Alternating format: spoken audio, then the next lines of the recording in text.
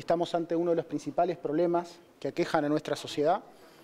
y este eh, consideramos que la aplicación y el diagnóstico tanto del presidente como del ministro del Interior es un diagnóstico equivocado.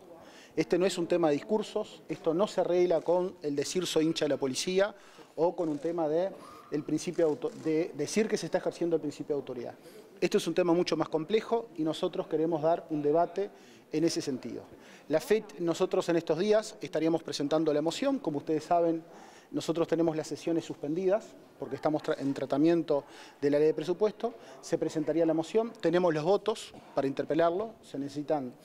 un tercio y tenemos, tenemos 13 legisladores. El miembro interpelante va a ser el senador Enrique Rubio,